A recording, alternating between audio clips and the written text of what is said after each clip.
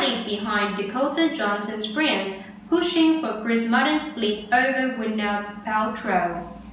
Dakota Johnson's friends are reportedly urging the Fifty Shades of Grey star to split from her boyfriend, Chris Martin.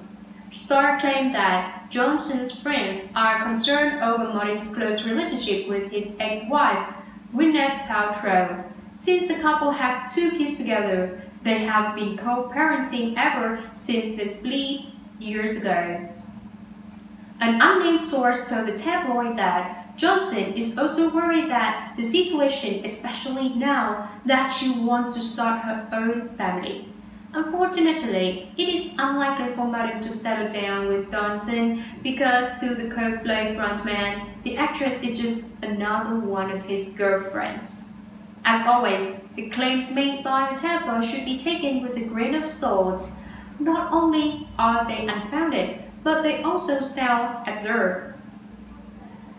It is unlikely for Johnson's friends to have such a massive say on the actress and Martin's relationship. And at the end of the day, it is Johnson who would decide who she wants to be with.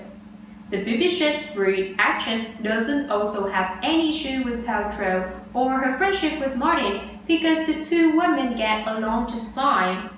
Two months ago, Paltrow even paid tribute to Johnson on her 13th birthday by posting a sweet greeting on her Instagram account.